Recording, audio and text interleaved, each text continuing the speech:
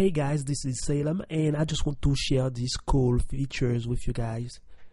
If you mix a bookmarklet called Page Zipper with your auto scroll, the auto scroll, like you know, when you center click, when you click the center button on your mouse and then you just drag the mouse and then you just leave the mouse by itself, you can see the page auto scrolling by itself. Now, if you mix this feature with the page zipper, let me show you. I have, see now this is the page zipper. And then you mix it with the auto scroll. You move the mouse and then you just leave the mouse. You don't even need to touch the mouse again. And then you will watch the page keeps, all the pages keep scrolling one after another after another.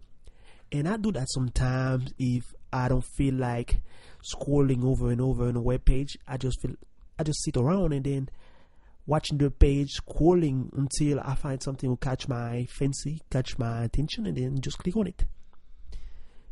Yeah, it's pretty cool. That's why I choose to share with you guys. It's it's a mix of page zipper with auto scroll, and I don't know if you can do this on your Google Chrome. If you can do this, let me know because I don't use Google Chrome. So just let me know if you can do this on it. I don't know if you have this auto scroll feature. If you do, you can mix it with the page zipper and then you will have this cool feature. See if I drag the mouse down and then leave it, it will go faster. If I point the cursor closer to the circle, it will go slower.